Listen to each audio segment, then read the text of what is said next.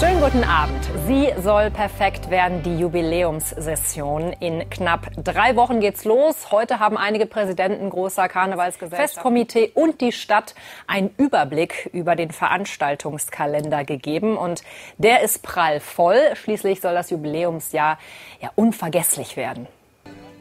Ja, und schon vor dem 11.11. .11. wird in Köln gefeiert. Ein Tag vorher, am 10. November, findet in der Lanxess Arena das große Jubiläumskonzert von Arschhu gegen Fremdenhass statt. Im Vorfeld des Konzerts hat ein breites Bündnis zu einer Kundgebung aufgerufen. Das Motto Solidarisch in der Energiekrise soll ein deutliches Signal senden, dass die Gesellschaft sich nicht spalten lässt. Wenn wir von der Großbaustelle an der Leverkusener Brücke hören, dann geht es ja meistens um das schwere Schicksal von Autofahrerinnen und Autofahrern, die da im Stau stehen oder Lkw, die lange Umwege fahren müssen.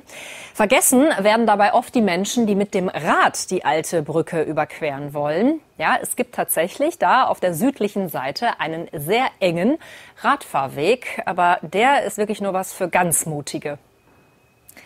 Die Polizei hat eine Mitarbeiterin des Kölner Ausländeramtes festgenommen, weil sie im Verdacht steht, einer mutmaßlichen Schleuserbande gefälschte Aufenthaltserlaubnisse und Pässe verkauft zu haben.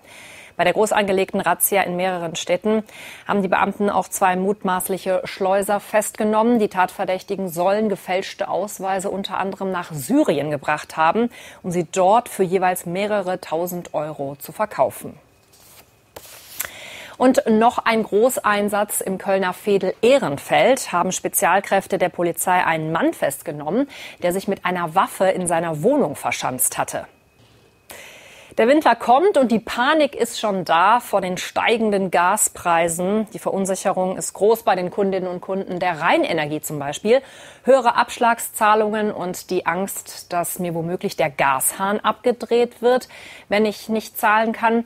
Ja, da greifen viele schnell zum Hörer oder melden sich persönlich beim Kundenservice. Der ist deshalb gerade stark überlastet. Unglaubliche Geschichte. Und jetzt hier was zum Aufatmen, was Süßes oder, also ja, ähm, Geschmackssache. Der Kölner Zoo hat heute einen Neuzugang vorgestellt. Das Erdferkelweibchen Mandela lebt seit kurzem im Hippodom. Ja, ist doch ganz süß. Sie gehören zum Herbst dazu wie Kastanien und Kürbisse, die Wegmänner. Aber der arme Kerl steckt in der Krise, genauso wie die Handwerksbäckereien, die mit den hohen Energiekosten zu kämpfen haben. So jetzt zum Beispiel dem Betrieb Bovelet in Bedburg. Teures Backofenheizen heißt hier auch zwangsläufig ein bisschen teurere Wegmänner.